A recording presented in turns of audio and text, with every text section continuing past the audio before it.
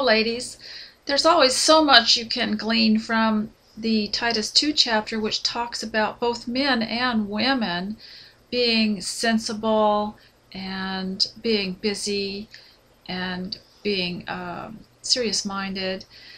And so I want to talk a little bit about that today in relation to your children, if you have children at home, or even if your children are grown. It's going to have a big effect on them to see their mother happily engrossed in busyness at home, the business of taking care of things, the business of even sitting in your own house and enjoying the sun coming over your shoulder from the window. And so I wanted to emphasize this because if you have children at home and they're young, they need to learn to enjoy the moment. That's what partly what home is all about. It's a chance to be yourself, to rest, to enjoy the moment, to enjoy the season. Now, I know that a lot of things you do with your children, like coloring over a leaf on a piece of paper with a wax crayon, is can be done in some place like daycare with a group of children, but there's a relationship you're establishing when you're the mother and you're teaching them this.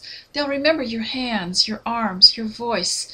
They'll remember the time that you spent with them one time in a class I taught about raising your children with love, I asked each of the women to think for a moment about the first happy moment that comes into their mind concerning their childhood.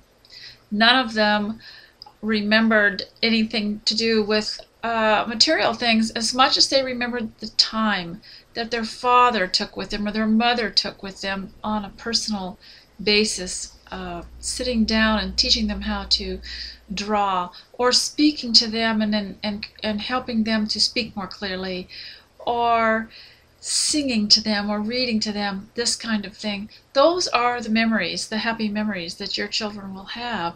And they only have one chance to get them. And that's why I say you can daycare your own children.